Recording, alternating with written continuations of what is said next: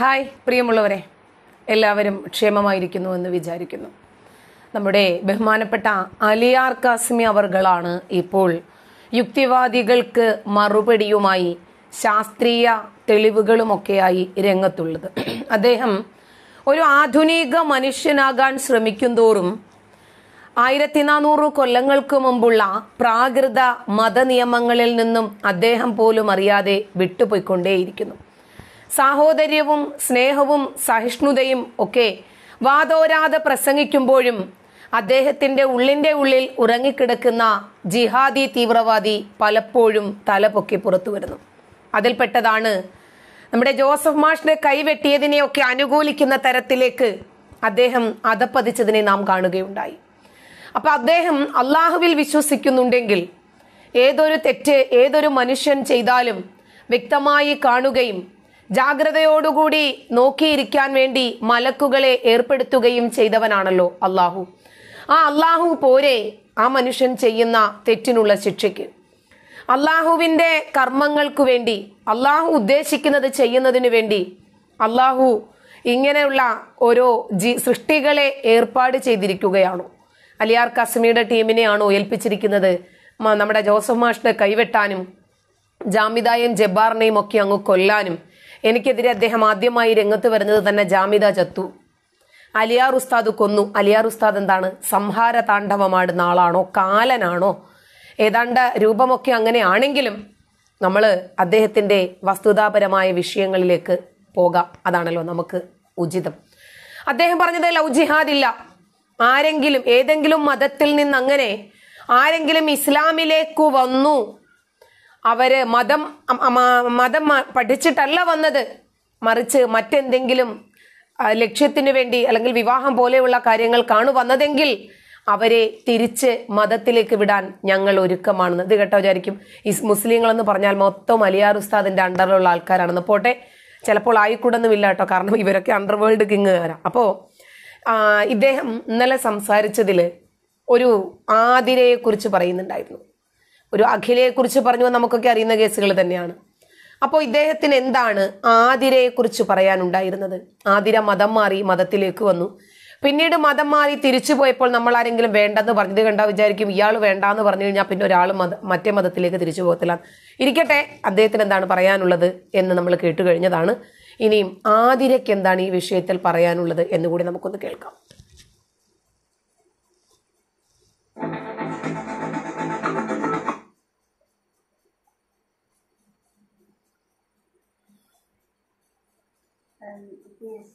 ക്കാരാണല്ലോ നൗഫലിനെ help ചെയ്തതൊക്കെ അപ്പോൾ sound കുറവാണ്. ക്ഷമിക്കണം. നൗഫലിനെ ഹെൽപ്പ് ചെയ്തതൊക്കെ അപ്പോൾ അവർക്ക് ഹെൽപ്പ് ചെയ്തതൊക്കെ അപ്പോൾ അവർക്ക് അവർക്കാണെങ്കിൽ ലക്ഷ്യം ഇപ്പോൾ എസ് ടി പി ഐക്കാർക്കും നൗഫലിനും പോപ്പുലർ ഫ്രണ്ടുകാർക്കും ഒക്കെ ഒരു ലക്ഷ്യം ഉണ്ടായിരിക്കും. അങ്ങോട്ട് കടത്തണം എന്നുള്ളൊരു ലക്ഷ്യം ഉണ്ടായിരിക്കും. അതിന് വേണ്ടിയായിരിക്കും അവർ ഇങ്ങനെയൊക്കെ ചെയ്തത്. ഇപ്പം നൗഫൽ പെട്ടെന്ന് എമർജൻസി പാസ്പോർട്ട് എന്നെ കൊണ്ട് എടുപ്പിച്ചു. പിന്നെ ഞാൻ വേറൊരു മതം എന്നുള്ളൊരു കാര്യത്തിൽ മാത്രം വിശ്വസിച്ച് പോയതൊരു മതം മാറുന്ന ആൾക്ക് പാസ്പോർട്ടിന്റെ ആവശ്യമില്ലല്ലോ. നൗഫൽ ഇതൊക്കെ ഇത്ര ധൃതിയിലൊക്കെ ചെയ്യണമെങ്കിൽ പിന്നെ നൗഫൽ യമന്റെ കാര്യം പറഞ്ഞു. ഇവർ ഇത്ര ധൃതിയിൽ ചെയ്യണമെങ്കിൽ പിന്നെ നൗഫൽ അവരുമായിട്ട് നല്ല കണ കണക്ഷൻ ഉള്ളവരാണ് അപ്പോൾ ചുരുക്കത്തിൽ ഞാൻ ആദ്യം ഒന്ന് ഇൻട്രൊഡ്യൂസ് ചെയ്തു തരാം.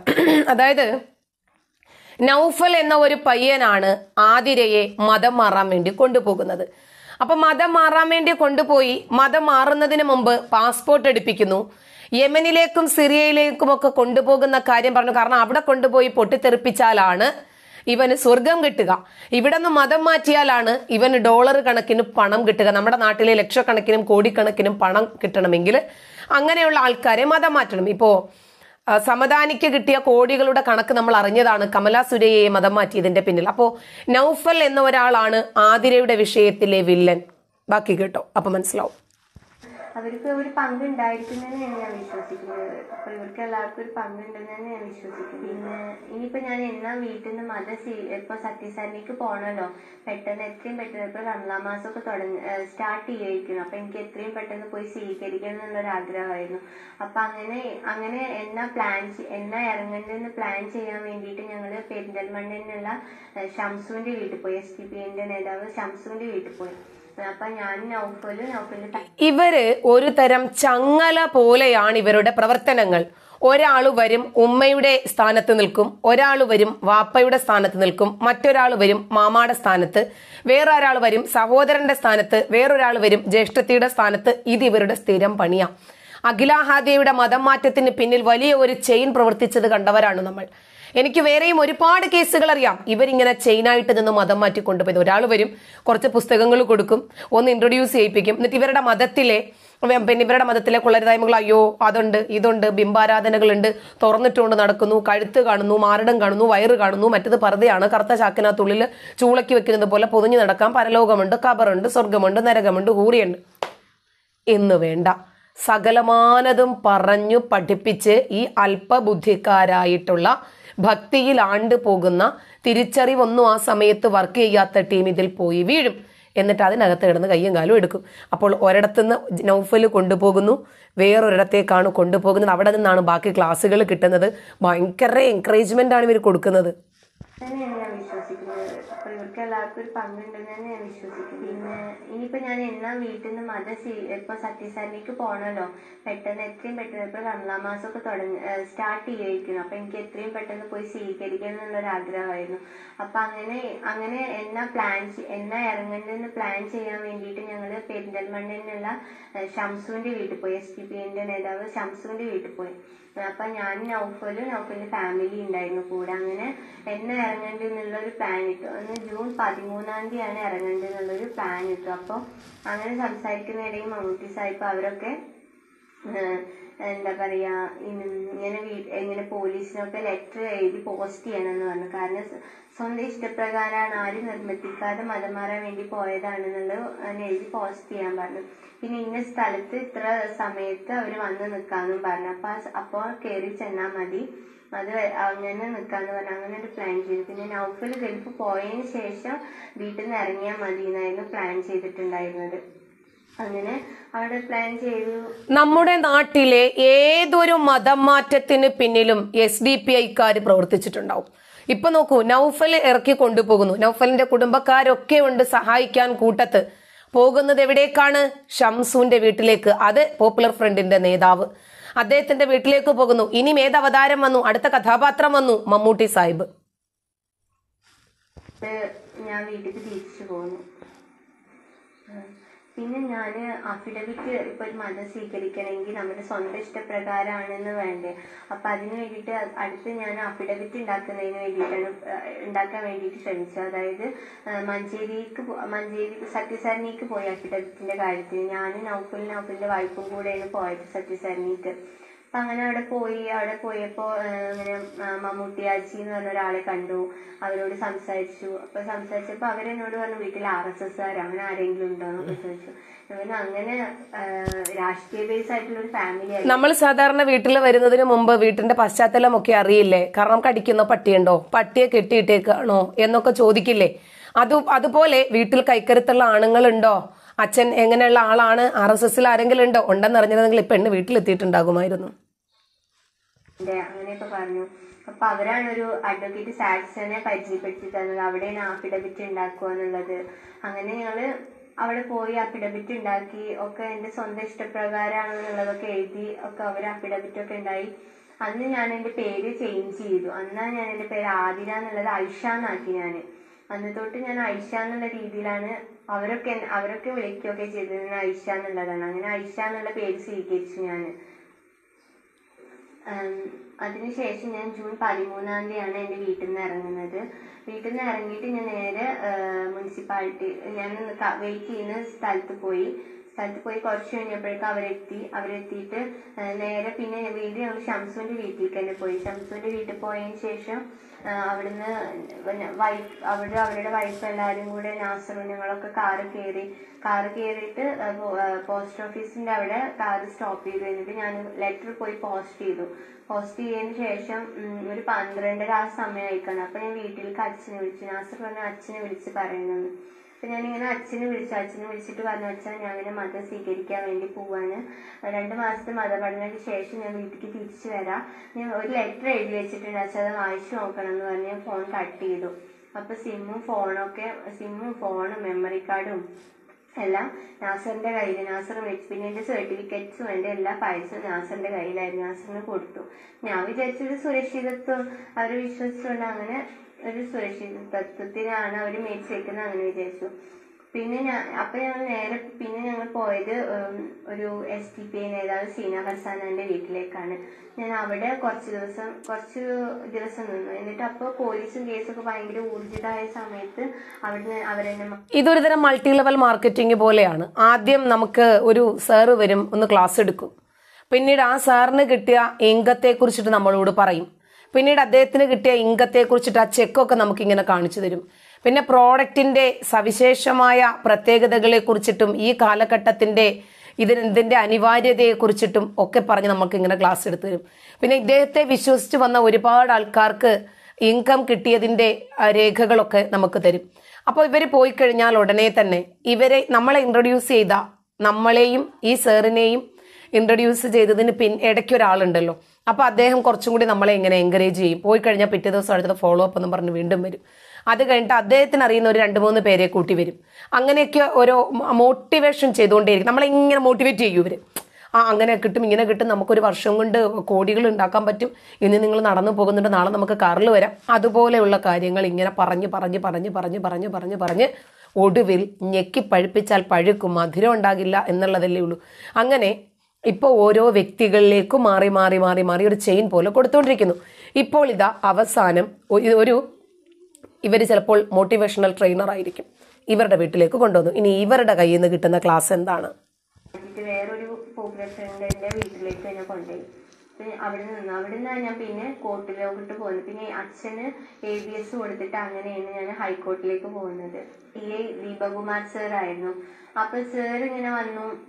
സാറ് വന്നപ്പോ സാർ എന്നോട് ഫ്രണ്ട്ലി ആയിട്ട് സംസാരിച്ചു. അപ്പൊ ഇങ്ങനെ സംസാരിക്കുന്ന ഇടയിൽ അപ്പോഴാ അപ്പൊ ഇങ്ങനെ ഓരോ ഐ എസ് ഐ എസിന്റെ ന്യൂസ് ഒക്കെ ഇങ്ങനെ ആ, പറഞ്ഞോണ്ട് ടി വിയിലും എല്ലാറ്റിലും ഭയങ്കര ഫേമസ് ആയിക്കൊണ്ടിരിക്കുകയാണ് അപ്പോൾ എന്നെ നൗഫലിനെ ചേർത്തൊക്കെ ഇങ്ങനെ പറഞ്ഞുകൊണ്ടേ ഇരിക്കുന്നുണ്ട്. ഞാൻ ലവ് ജിഹാദ് പോയതാണ്. അങ്ങനെ യമനിക്ക് പോയി ആട് മേക്കാൻ പോയി. അങ്ങനെ പല കാര്യങ്ങളും പറയുന്നുണ്ട്. പിന്നെ ഐ എസ് ഐ എസിന്റെ കാര്യമൊക്കെ പറയുന്നു. അപ്പൊ ഞാൻ ഇപ്പൊ എന്തെങ്കിലും ഒരു കാരണമല്ലാതെ ഇപ്പൊ നൗഫലിനെ കുറിച്ച് ഇങ്ങനെ പറയില്ലല്ലോ. പിന്നെ പോലീസ് സർ ദീപക് കുമാർ സാറും എന്നോട് പറഞ്ഞു ഇങ്ങനെ നൗഫലിന്റെ ബാക്ക്ഗ്രൗണ്ട് എന്നെ സംബന്ധിച്ച് അയാൾ ഒരു നല്ല മനുഷ്യൻ ഒരു പെർഫെക്റ്റ് മനുഷ്യൻ ഒരു പക്ക നല്ലൊരു മുസ്ലിം എന്നുള്ളൊരു കൺസെപ്റ്റ് ആയിരുന്നു എനിക്ക്. പക്ഷെ അയാളുടെ അയാൾക്കൊരു വേറൊരു മുഖം ഉണ്ടെന്ന് ഞാൻ അറിയാൻ തുടങ്ങി. അറിഞ്ഞത് ദീപകുമാർ സാർ വഴിയാണ് സാർ എനിക്ക് ഓരോ ഫോട്ടോസ് പിന്നെ അയാളുടെ അയാളുടെ ചരിത്രം മീൻസ് അയാൾ പണ്ട് എങ്ങനെയായിരുന്നു അയാൾ ഇപ്പൊ എന്തൊക്കെ ചെയ്തു എങ്ങനെയൊക്കെയാണ് അയാളുടെ പ്രവർത്തനങ്ങൾ എന്നൊക്കെ എനിക്ക് പറഞ്ഞു തന്നു. അപ്പൊ ഞാൻ ആകെ പേടിച്ചു ഇങ്ങനെ ഒരാളാണ് ഇയാളോടാണ് ഞാൻ സംസാരിച്ചിരുന്നത്. ഇയാളുടെ ഹെൽപ്പാണ് ഞാൻ ഇത്ര കാലം ഇയാളുടെ ഹെൽപ്പാണ് ഇത്ര കാലം ഞാൻ അനുഭവിച്ചിരുന്നത് അതൊക്കെ ആലോചിച്ചപ്പോൾ എനിക്ക് ഒത്തിരി പേടി തോന്നി. അപ്പൊ ഞാൻ വിചാരിച്ചു എന്തായാലും വീട്ടിൽ പോവാം. പിന്നെ ഞാൻ ഇങ്ങനെ ഐ എസ് പോവാൻ നിൽക്കുവാൻ അങ്ങനെയൊക്കെയുള്ള ഓരോ ന്യൂസൊക്കെ കേട്ടപ്പോൾ എനിക്ക് പേടിയായി. ഞാൻ അങ്ങനെയൊന്നും മനസ്സിൽ വിചാരിച്ചിട്ടില്ല. അങ്ങനെ ഒരു ചിന്ത ഉണ്ടായിരുന്നില്ല ഐ എമ്മിന് പോകണമെന്നുണ്ടായിരുന്നു. പക്ഷെ അത് ഐ എസ് ഐ എസ് ആയിട്ട് ലിങ്ക്ഡ് ആണ്. അതൊന്നും എനിക്കറിയില്ലായിരുന്നു നൗഫൽ അങ്ങനെയുള്ള ഒരാളാണോ? അതും എനിക്കറിയില്ലായിരുന്നു അപ്പൊ അങ്ങനെ പേടിച്ചിട്ടാണ് പിന്നെ കോർട്ടിൽ എന്നെ പ്രൊഡ്യൂസ് ചെയ്തു. അപ്പൊ ഞാൻ അപ്പൊ അങ്ങനെ പിന്നെ അപ്പൊ എന്നെ കോടതിയിൽ പ്രൊഡ്യൂസ് ചെയ്തു. എ പി എസ് കൊടുത്തപ്പോ എന്നെ കോർട്ടിൽ പ്രൊഡ്യൂസ് കോർട്ടിൽ പ്രൊഡ്യൂസ് ചെയ്യുന്നതിന് മുന്നേ എനിക്കറിയില്ല. ഞാൻ ഫസ്റ്റ് ടൈമാണല്ലോ ഒരു കോടതിയിൽ പോകുന്നത്. കേസൊക്കെ എന്റെ ജീവിതത്തിൽ ഫസ്റ്റ് ടൈമാണ് അപ്പൊ അങ്ങനെ ആവുന്ന സമയത്ത് അവർ എനിക്ക് ട്രെയിനിങ് ട്രെയിനിങ്സ് എനിക്ക് പറഞ്ഞു തന്നിട്ടുണ്ടായിരുന്നു. ചിലപ്പോൾ അച്ഛനും അമ്മയോ കുഴഞ്ഞു വീഴുകയോ ചിലപ്പോ ആ, വിഷം കഴിക്കുന്ന പോലെ ചിലപ്പോ അത് അഭിനയിക്കുകയായിരിക്കും ചിലപ്പോ അത് ശരിക്കും തന്നെ ആയിരിക്കും ചിലപ്പോ ഒരു കാൽ പിടിക്കാൻ വരും. ഉം, ചിലപ്പോ ആക്ടിങ് ആയിരിക്കും അല്ലെങ്കിൽ ഒറിജിനൽ ആയിട്ട് അവരാക്കും ചിലപ്പോ അവിടെ തല ചുറ്റി വീഴുന്നുണ്ടാവും. പല ഇതും ചിലപ്പോ നമ്മൾ കോടതിയിൽ കാണേണ്ടി വരും. പക്ഷെ അതൊന്നും കണ്ടിട്ട് മനസ്സ് മാറാൻ നിന്നാ അവരുടെ പിന്നെ അവരുടെ കൂടെ പോവാന്ന് വെച്ചാൽ പിന്നെ തിരിച്ചു കിട്ടില്ല. പിന്നെ എന്താ ഉണ്ടാവാന്ന് നമുക്ക് പോലും അറിയില്ല. അപ്പൊ എന്ത് വന്നാലും സ്ട്രോങ് ആയിട്ട് പിടിച്ചു നിൽക്കുന്നത് സീന ഹസാനി നാസർ. ഓരോരുത്തരെയും മതം മാറ്റുന്നതിന് പിന്നിൽ ഇവർക്ക് പ്രത്യേകിച്ച് യാതൊരു ലക്ഷ്യവും ഇല്ലെങ്കിൽ എന്തിനാണ് ഇത്രയധികം ആൾക്കാർ മെനക്കെട്ട് ഇതിനു വേണ്ടി ഇറങ്ങി തിരിച്ചിരിക്കുന്നത്? അഖിലാഹാദിയയുടെ വിഷയം വന്നപ്പോൾ കോടിക്കണക്കിന് പണം വെള്ളിയാഴ്ച ജുമയ്ക്ക് ശേഷം ബക്കറ്റ് പിരിവ് നടത്തിയിരുന്നു കേസ് നടത്തുന്നതിനു വേണ്ടി. ജഡ്ജിയുടെ വരെ വീടിന് വളഞ്ഞു മാർച്ച് നടത്തി വാട്ടർ ടാങ്കിന് മുകളിൽ കയറി നിന്ന് ഭീഷണിപ്പെടുത്തി. അശോകന്റെ വീട്ടിലേക്ക് അഖിലയുടെ അച്ഛന്റെ വീട്ടിലേക്ക് മാർച്ചു നടത്തി. എന്തിനായിരുന്നു? ലക്ഷക്കണക്കിന് രൂപ കൊടുത്താണ് ആ കേസ് വാദിച്ചത് വാദിപ്പിച്ചത്. അപ്പൊ ഇവർക്ക് പ്രത്യേകിച്ച് പ്രതിഫലമൊന്നും ഇല്ലെങ്കിൽ ഇവർ ഇപ്പണിക്ക് നിൽക്കില്ല നമ്മൾ ആ ജൂലിയുടെ ഇന്റർവ്യൂ കണ്ടതാണ്. ജൂലി പറഞ്ഞതാണ് ജൂലിയെ കെട്ടിയ ആളിന് പള്ളിയിൽ നിന്ന് വലിയൊരു എമൗണ്ട് കിട്ടിയെന്ന് ജൂലി പറഞ്ഞത് നമ്മൾ കേട്ടതാണ്. ശ്രീകാര്യത്തെ മതം മാറ്റിയ പെൺകുട്ടി. അപ്പൊ ഇങ്ങനെ ഓരോരോ കുടുംബങ്ങളിലും കയറി ചെന്ന് അവിടുത്തെ പെൺകുട്ടികളെ വശീകരിച്ചു പിടിച്ച് അതുങ്ങളെ മതം മാറ്റി സിറിയയിലേക്കോ യമനിലേക്കോ കൊണ്ടുപോയി പൊട്ടിത്തെറിപ്പിച്ച് ഹൂറികളെ കിട്ടുന്നതിനേക്കാൾ എത്രയോ നല്ലതാണ് നിന്റെയൊക്കെ ഉമ്മമാരെയും പെങ്ങന്മാരെയും കെട്ടിയ പെണ്ണുമ്പിള്ളമാരെയും കൊണ്ടുപോയി പൊട്ടിത്തെറിപ്പിക്കുന്നത്. എന്നാൽ പിന്നെ നിങ്ങൾക്ക് എല്ലാവർക്കും ഈ നാട്ടിൽ ഈ ലോകത്ത് കുടുംബത്തോടു കൂടി കഴിഞ്ഞതുപോലെ തന്നെ പരലോകത്തും പോയി കുടുംബമായിട്ട് കഴിഞ്ഞൂടെ? വല്ല കുടുംബത്തിൽ നിന്നും ആൾക്കാരെ കടമെടുത്ത് ആ കുടുംബത്തെ നശിപ്പിച്ച് കണ്ണീരിലാഴ്ത്തിയിട്ട് വേണോ? നിങ്ങൾക്ക് പോയി പൊട്ടിത്തെറിക്കാനും സ്വർഗം വാങ്ങിക്കാനും? ഇവരെ തന്നെ പൊട്ടിത്തെറിപ്പിക്കണോ? പെങ്ങന്മാര് പൊട്ടിത്തെറിക്കുന്നത് കാണാനല്ലേ കുറച്ചും കൂടെ സുഖം ഉണ്ടാകുക ഇബ്രാഹിം വക്കീൽ എല്ലാവരും എനിക്ക് പറഞ്ഞു സ്ട്രോങ് ആയിട്ട് പിടിച്ചു നിൽക്കണം എന്ന് പറഞ്ഞു. അപ്പൊ അങ്ങനെ അങ്ങനെ കോടതിയിൽ സംസാരിച്ചു അപ്പോൾ അച്ഛനും അമ്മയെ അച്ഛനും അമ്മയോടും എന്നോടും കൂടി സംസാരിക്കാൻ വേണ്ടി കോടതി കുറച്ച് സമയം തന്നു. അപ്പൊ അച്ഛൻ എന്റെ അടുത്ത് സംസാരിക്കാൻ വേണ്ടി വന്നു. അപ്പൊ അച്ഛന്റെ അടുത്ത് സംസാരിക്കുമ്പോൾ അച്ഛൻ പറഞ്ഞു ഞാൻ നിന്റെ കാൽ പിടിച്ച് കരയ നീ കാൽ പിടിക്കാ നീ ഒന്ന് വീട്ടിലേക്ക് പോകാൻ അപ്പൊ എനിക്ക് ആ എല്ലാ ദേഷ്യവും ഒന്നാമത് ഒരു കാഫിറുകളാണ് മതത്തിൽ വിശ്വസിക്കുന്നില്ല മതം സ്വീകരിക്കാൻ വരുന്നില്ല. മതം മാറിക്കൊണ്ടുവരുന്ന ആൾക്കാർക്ക് ആദ്യം കൊടുക്കുന്ന കോച്ചിങ് ഇതാണ്. നമ്മൾ പല ഇന്റർവ്യൂവും കണ്ടവരാണ്. ആ ഇന്റർവ്യൂവിലൊക്കെ അവർ ഖുർആൻ വാചകമടക്കം പറയുന്നുണ്ട്. ഈ വാചകമാണ് ഞാൻ ആദ്യം പഠിച്ചത്. എന്റെ മാതാപിതാക്കൾ കാഫറുകളായതുകൊണ്ട് അവരോട് എനിക്ക് വെറുപ്പായിരുന്നു. നമ്മൾ എം എം അക്ബറിന്റെ രണ്ടാം ക്ലാസ്സിലെ പാഠപുസ്തകത്തിൽ പഠിച്ചു. Run away from the parents പേരൻസിൽ നിന്നും ഓടി രക്ഷപ്പെട്ടോണം. അത് തന്നെയാണ് ഇവിടെ ഇവർക്കും പഠിപ്പിച്ചു കൊടുക്കുന്നത്. പിന്നെ എങ്ങനെയാണ് കാഫിറായി അച്ഛൻ കരയുമ്പോൾ മനസ്സലിയുന്നത്? ഇവിടെ അച്ഛന് ഹാർട്ട് അറ്റാക്ക് വന്നിട്ട് പോകാത്ത മോളുണ്ട്. മതം മാറിയിട്ട്. എല്ലാ ദേഷ്യവും ഒക്കെ കാര്യം എന്റെ കാലിൽ പിടിക്കാൻ വന്ന ചോട്ടി അപ്പുറത്തേക്ക് ഇടുന്നു പറഞ്ഞു എന്റെ അച്ഛനോട്. ഞാൻ അത്രയും ആ സമയത്ത് എനിക്ക് അത്രയും ദേഷ്യമായിരുന്നു അവരോട്. എന്താ പറയുക അവർ കാണുന്നത് പോലും എനിക്ക് ദേഷ്യമായിരുന്നു. അമ്മാതിരി മേരി ജോസഫിന്റെ ഡിവിഷൻ ബെഞ്ചിൽ എന്നോട് ചോദിച്ചു രണ്ട് ദിവസമെങ്കിലും വീട്ടിലേക്ക് പോകാൻ പറ്റുമോ ചോദിച്ചു. അപ്പം ഞാൻ പറഞ്ഞു രണ്ട് ദിവസം അല്ല ഒരു സെക്കൻഡ് പോലും എനിക്ക് വീട്ടിൽ പോകും വേണ്ട എനിക്ക് വീട്ടുകാരെ കാണും വേണ്ടെന്ന് പറഞ്ഞു. അപ്പോൾ പറഞ്ഞു ഒന്നില്ലെങ്കിൽ ഞാൻ പറഞ്ഞു അവർ ഇസ്ലാമിലോട്ട് വരട്ടെ. ഇസ്ലാം മതം സ്വീകരിച്ച് മതം പഠിച്ച് അങ്ങനെ കഴിഞ്ഞ് ഇസ്ലാമികപരമായി ജീവിക്കാനാണെങ്കിൽ പോവാന്ന് പറഞ്ഞു. അപ്പോൾ വീട്ടുകാർ പറഞ്ഞു എല്ലാ സാഹചര്യം ഒരുക്കി പറഞ്ഞു. അതായത് നമ്മൾ മാത്രമല്ല മതം മാറേണ്ടത് വീട്ടുകാരെ കൂടി ഇതിലേക്ക് കൊണ്ടുവന്നാൽ അതിന്റെ പ്രതിഫലവും കൂടി നമുക്ക് കിട്ടുമല്ലോ ആതിരയ്ക്ക് പുണ്യം വർദ്ധിപ്പിച്ചു കൊടുക്കാൻ വേണ്ടിയിട്ട് ഇവരെന്ത് പാടുപെടുന്നല്ലേ? അപ്പൊ വീട്ടുകാരോട് നല്ല സാഹചര്യം ഒരുക്കി തരാന്ന് പറഞ്ഞു അപ്പൊ ഞാൻ പറഞ്ഞു ഇത്ര കാലം ഒരുക്കാത്ത നിങ്ങൾ ഇപ്പൊ എനിക്കെല്ലാം ഒതുക്കി ഒരുക്കി തരുന്നു ഞാൻ എങ്ങനെ വിശ്വസിക്കുന്നു പറഞ്ഞു. ഞാൻ എന്തായാലും വീട്ടിൽ പോവില്ല ഒരു കാരണവശാലും വീട്ടിൽ പോവില്ലെന്ന് പറഞ്ഞു. അപ്പോൾ ജസ്റ്റിസ് മേരി ജോസഫിന്റെ ബെഞ്ച് തന്നെ ഹൈക്കോർട്ടിലോട്ട് എന്നെ സദനത്തിലോട്ട് സദനത്തിലോട്ട് ഹോസ്റ്റലിലേക്ക് നിർത്താനുള്ള പ്ലാൻ ഹോസ്റ്റലിലേക്ക് നിർത്താൻ നിർത്താം. ഒരു രണ്ടാഴ്ചയ്ക്ക് ഹോസ്റ്റലിലേക്ക് വിടാമെന്ന് പറഞ്ഞു. അപ്പൊ ഞാൻ അങ്ങനെ ഹോസ്റ്റലിലേക്ക് പോകാൻ വേണ്ടി തയ്യാറാക്കുന്ന സമയത്ത് അഡ്വക്കേറ്റ് ഇബ്രാഹിം ഇബ്രാഹിം അഡ്വക്കേറ്റ് എനിക്കൊരു ഖുറാൻ തന്നു. ഖുറാൻ വായിച്ചോളാൻ പറഞ്ഞിട്ട് എനിക്ക് കുറഞ്ഞിട്ട് ഒരു ഖുറാൻ തന്നു. ഞാൻ ഖുറാൻ എടുത്ത് എന്റെ ബാഗിൽ വെച്ചു. അങ്ങനെ എന്നെ അങ്ങനെ ഞാൻ ആദ്യമായി മതത്തെക്കുറിച്ച് പറയുന്നതിനു മുമ്പ് പ്രണയം നടിക്കുക. ഈ പെൺകുട്ടിയുടെ ആരൊക്കെയോ ആണ് നമ്മൾ എന്ന് വരുത്തി തീർക്കുകയും അതുവരെ പ്രിയപ്പെട്ടവരായിരുന്ന ആൾക്കാരെയൊക്കെ മതത്തിന്റെ വിഷയം പറഞ്ഞ് വിശ്വാസത്തിന്റെ ആചാരത്തിന്റെ അനുഷ്ഠാനത്തിന്റെ പരലോകത്തിന്റെ ഒക്കെ കാര്യങ്ങൾ പറഞ്ഞ് അത്രമാത്രം പ്രിയപ്പെട്ട ഈവൻ മാതാപിതാക്കളെ പോലും അകറ്റി നിർത്തുക. അവരെ വെറുപ്പിക്കുക എന്നാൽ മാത്രമേ ഇന്നലെ വന്ന ഇവരെ മാതാപിതാക്കളായും സഹോദരങ്ങളായും കരുതൂ വിശ്വസിക്കൂ. ക്രമേണ ഇവർ ഇവരെ ബ്രെയിൻ വാഷ് ചെയ്യാൻ വേണ്ടിയിട്ട് മാത്രം സെലക്ട് ചെയ്ത ചില പുസ്തകങ്ങളുണ്ട്. ഖുർആൻ പരലോകം എന്നൊക്കെ പറയുന്ന പുസ്തകം. ആ പുസ്തകമാണ് ആദ്യമായി ആതിരയ്ക്കും വായിക്കാൻ കൊടുത്തത്. അത് വായിച്ചപ്പോഴാണ് ആതിരയ്ക്ക് മനസ്സിലായത് അയ്യോ ഞാൻ ഈ മതം സ്വീകരിച്ചിട്ടില്ലെങ്കിൽ എന്റെ അവസ്ഥ ഇതാണല്ലോ എന്ന് മനസ്സിലാക്കി ചുരുക്കത്തിൽ ആതിരയ്ക്കും മനസ്സിലായി. ഞാൻ വന്നെത്തിയിരിക്കുന്നത് കൃത്യമായ സ്ഥലത്തല്ല. അങ്ങനെ മനസ്സിലായി പെട്ടെന്നൊരു സാഹചര്യത്തിൽ ആതിര ആയിഷയായതുപോലെ തന്നെ ആയിഷ ആതിരയിലേക്ക് മടങ്ങുകയും ചെയ്തു എന്നതാണ് ചുരുക്കം. അപ്പോ അലിയാർ കാസിമി ചോദിക്കുന്നത് ഞങ്ങളാരും തടഞ്ഞില്ലല്ലോ. ലോകം മുഴുവനും തടഞ്ഞാലും ആതിര ആതിരയുടെ പഴയ മതത്തിലേക്ക് തന്നെ തിരിച്ചു പോകുമെന്ന് പറഞ്ഞാൽ പോയേ പറ്റൂ. അതല്ലെങ്കിൽ പിന്നെ കമലാ സുരയെ ഒക്കെ പോലെ ജീവന് ഭയമുണ്ടാകണം. പിന്നീട് ശക്തരായ രാഷ്ട്രീയ നേതാക്കൾ ആതിരയെ ഏറ്റെടുത്തു. ആതിര എത്തേണ്ടിടത്ത് എത്തിയപ്പോൾ അടങ്ങിയിരിക്കേണ്ടവർ അടങ്ങിയിരുന്നു എന്നതാണ് ചുരുക്കം. മതം മാറിയ മറ്റൊരാളുമായി വീണ്ടും നമുക്ക് നേരിൽ കാണുന്നത് വരേക്കും ബൈ ബൈ.